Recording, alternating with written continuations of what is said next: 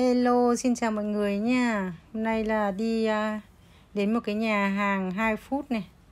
Ở uh, trên chỗ hàng bài 55B hàng bài ấy mọi người. Lên trên chỗ này là người ta bán à, đồ uh, hải sản rồi các cái đồ uh, thịt uh, nhập khẩu ấy. Rất là ngon. Ở hàng ở đây thì uh, giá cả có vẻ hơi đắt một chút nhưng mà hàng thì rất là chất lượng mình muốn mua cái cá hồi để về uh, gỏi ấy, ăn sống ấy mọi người. À, ở đây là cá hồi organic là cá hồi sạch ấy.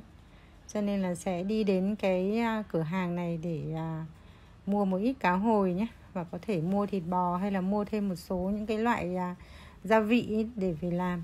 À, mời mọi người cùng vào à, trong cửa hàng với mình nhé mọi người ơi. Mùa covid này em cũng rất là ngại đi đến các cửa hàng. Nhưng mà đến cái giờ này thì nó sẽ vắng chứ còn ở đây họ rất là đắt hàng bởi vì hàng ở đây hàng rất là chất lượng rất là ngon. Đó, mọi người thấy không? Cá hồi uh, organic à, trước khi vào là sẽ phải uh, rửa tay. Rửa tay để uh, diệt khuẩn nói chung là bây giờ đi các uh, siêu thị hay là đi các chỗ mua đồ mình cũng rất là ngại. Nhưng mà đến cái giờ này là sẽ uh, vắng khách này vào một cái có bánh mì này bơ này rồi uh, cà chua chuối. Đấy, đây là các đồ nhập khẩu ấy mọi người.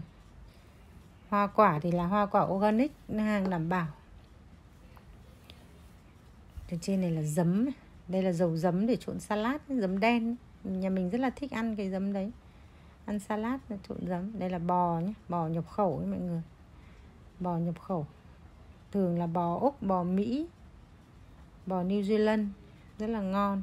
Có cả kim chi này rồi đậu hũ này rất là nhiều loại, gừng hồng này. Ở đây là cái tủ mà đựng thịt bò ấy. đây là bò nhập khẩu, từng khúc từng khúc, một như này, một cái khúc như này từ 5 cân đến 7 cân ấy. Nhưng mà nếu mà mình mua khoảng nửa cân thì họ cũng vẫn ờ, cắt khúc ra để bán.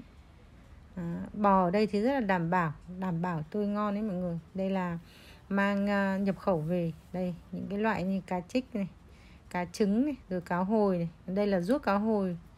Họ đã làm cá hồi vụn là thành ruốc cá hồi. Đây là gừng hồng để ăn với cả cá hồi. Nói chung là ở đây toàn những đồ nhập khẩu thôi rất là ngon. Những đồ rất là là chất lượng rồi tôm sú đủ thứ. Và đây thì uh, có thể mua được rất là nhiều thứ. Và mình rất là thích uh, thịt bò và cá hồi đây. Đây là cái uh, tủ cá hồi để mọi người nhìn thấy không? Đó. còn đây là hoa quả để trong tủ lạnh rồi cái salami.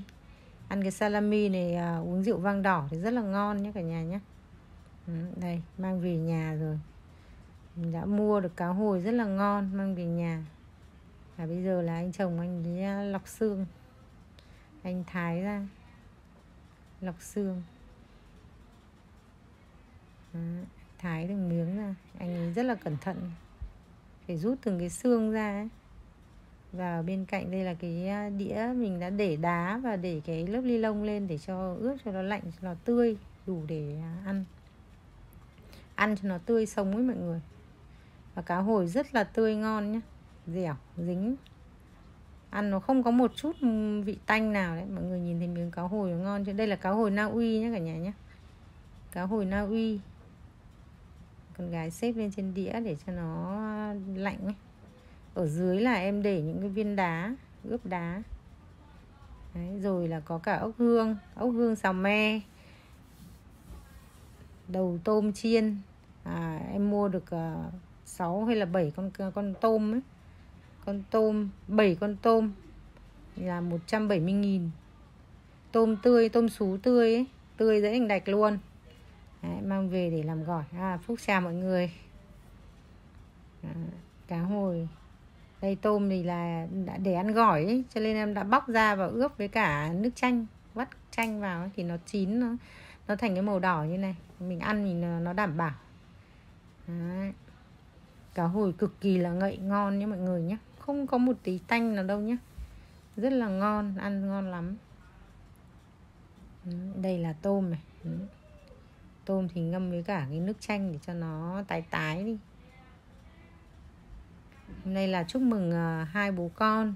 Con gái thì đã thi đỗ rồi và cũng đạt học sinh giỏi xuất sắc rồi. Và bố thì cũng um, thi đỗ đạt rồi. Cho nên là mua đồ tươi về để à, cho mừng hai bố con. Đấy. Đây là thợ nhà mình ờ, đang ờ, chế biến.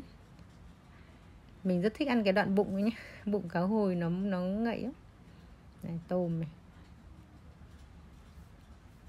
tôm để để cuốn gỏi, cho rau, cho gừng và xong rồi là cuốn cuốn với cả cái cái bánh đa. Đó, miếng bụng ngon chưa? Miếng bụng rất là ngon, mình rất thích ăn cái miếng bụng. Vì nó có mỡ rắt vào, rất là ngon. Mọi người nhìn còn nhiều người không thể ăn sống được ấy, nhưng mà ai mà ăn được rồi thì thấy rất là ngon ấy. nó không hề tanh một chút nào luôn. Nó rất là ngậy và ngon.